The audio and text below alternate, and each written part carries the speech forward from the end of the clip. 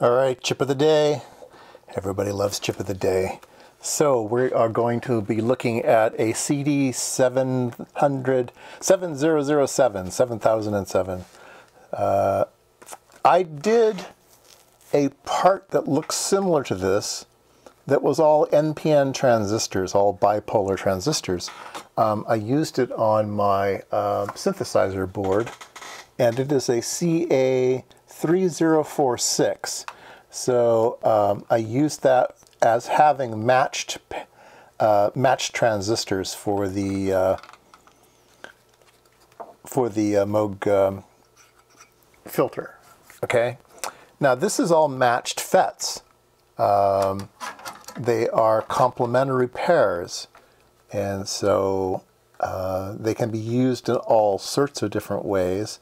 But again, you have to be careful. Remember, maybe you don't remember, on the um, CA3046, one of the emitters is tied to the substrate, and the other ones are put on top of the substrate in, in lithography. And so when you use these things, you can never have a potential. The, the very lowest potential has to be on that last pin, that, that one that's connected to the substrate. If it's biased higher, then nothing works. And I had that problem with the circuit until I figured that out. Well, this is no different. Um, pin 7 also connects to the substrate, and so you have to be careful when you use this part as well. Um, it is kind of a strange part. Um, like these are connected, so the gates are connected. Uh, this one has some things connected. These two have the gate connected.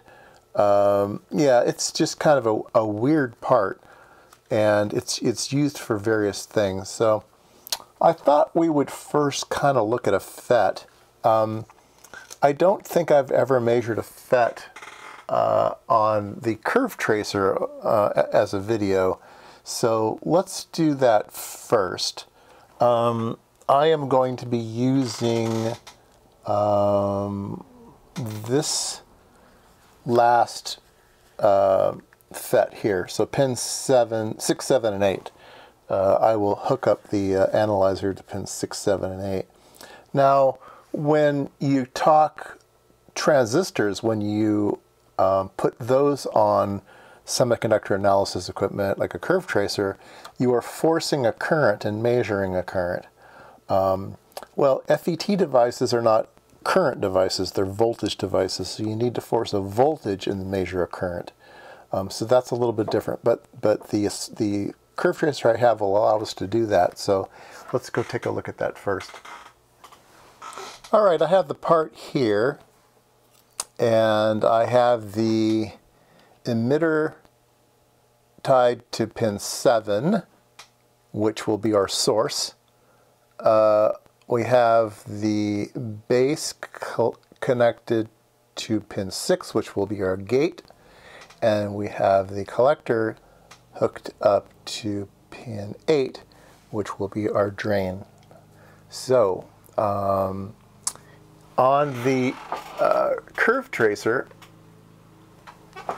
this is the step generator.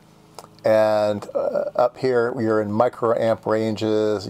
Here, you're in milliamp ranges. And you can force currents, and it'll step those. Um, this little section down here, though, is voltages. So uh, here, if you have it set, it will force it will step voltages and then measure currents as, as before.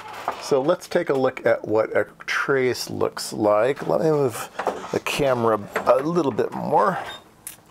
All right, so um, let's just give you a picture first so you can see it looks like a transistor, all right? Um, so we are at 2 volts per division horizontally, so we are at 12 volts uh, 2, 4, 6, 8, 10, 12. Um, and we are vertical 2 milliamps, so 2, 4, 6, 8, 10, 12 milliamps in the vertical direction. Now what about the steps, okay? The steps are here, they're 2 volt steps. So there's 2 volts between each step. Um, and so you'd say, okay, well, it's two, four, two, four, six, eight. That would be an eight volts. Well, no, you, you would get trapped if you did that, okay? I have it set up to five steps, okay? So how many steps do we have? One, two, three, four. Okay, there's four steps, but I have the instrument set to step five. So we must be missing one. If you count it in reverse order, this is the fifth, fourth, third, second, and number one is missing. Let's open the vertical here and you can just see it right down there at the very, very bottom. Now it's 100 microamps. So it's only 50 microamps of current way, way, way, way, way down there. So there is a uh, gate to source voltage that the transistor needs in order to start to operate. And so in this particular case, we would have uh, to, this would be the 4 volt trace, uh, 4, 6, 8, 10, okay? So there we go. Uh, right here in the middle, we're stepping around uh, 10, 8, 6, around 6 volts here. Um, and everything's looking good. So it does look like a nice FET. Um, looks like we have a gate turn on somewhere below 4 volts. Um, we could read the data sheet and see what that is, but uh, we are getting some turn on here at 4 volts. So again, 4, 6, 8, 10. All right. Uh, if we go a little bit further, you can start to see things are starting to rise here, and that, so the, the part's starting to break down. It's not a very high voltage part. Um, so this would be 14 volts, 14 volts right here. This would be 16 volts. I think the rated absolute maximum 18 volts, so you don't want to go very high. But here at 12 volts, they're very, very happy, so we can certainly operate it there. All right, uh, so let's pick a circuit out. I think we'll just uh, see if we can't build a, um, a buffer. These things are good at uh, doing buffer type things. And uh, let's hook one up. All right, like I said, these are pairs, okay? So this, this was an N channel. We measured an N channel. It's marked N here. So um, there are P channels as well. So this is an N channel. This is a P channel, P channel, N channel, P channel, N channel. All right. And um, these guys here look interesting. I think we'll go ahead and try to use these. We'll try to use these in a kind of a push-pull type environment. We'll put in a signal here and see if we can't use these two as a, uh, a buffer um, in a totem pole type configuration. So yeah, let's let's wire those up. All right, I'm just playing with this little circuit here. It's a little follower. I've got some uh, current limiting on it. Um, and we are going to inject a signal here and we will measure a signal here. So we're using the uh, this section here. So pin 3 already connects the two uh, gates together. Everything else is, is open.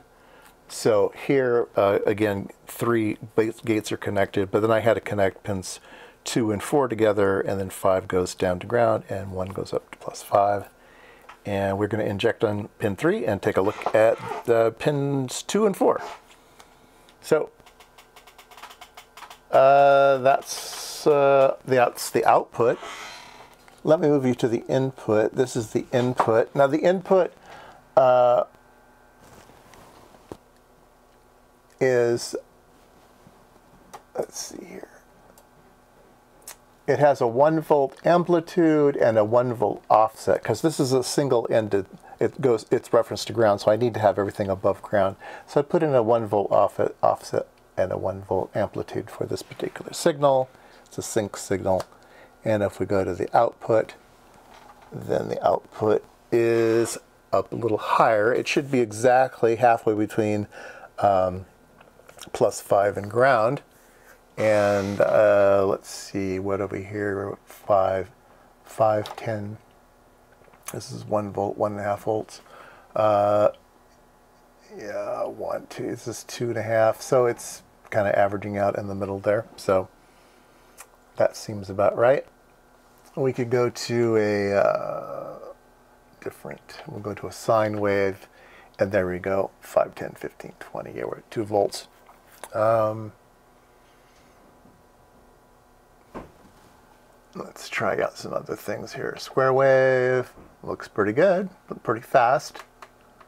Nice sharp edges. Oops. And uh, yeah, uh, let's do an EKG. Those are always fun. Yeah, there we go. Uh, oh, did I have an EKG?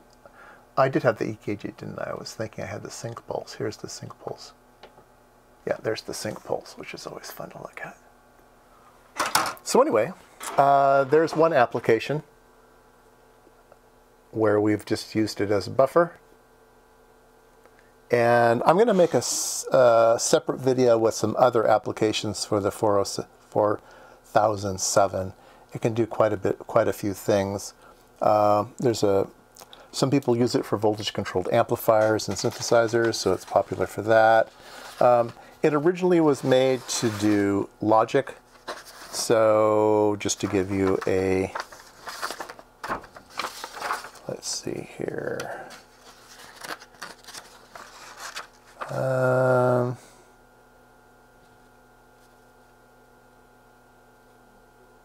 yeah. So you can make it into any type of device you want, an inverter or OR gate, AND gate and stuff. Shows you how to uh, how to wire those things up. These are all the pin numbers for how to wire it up for the various things. We'll take a look at that. Um, and uh, people use them for current sources, sink, current sinks. Um, so yeah, there's lots of lots of interesting things. That's what they used for testing. Originally, they were intended to be full on, full off, but if you uh, put some current limiting on them, you can use them in between as well.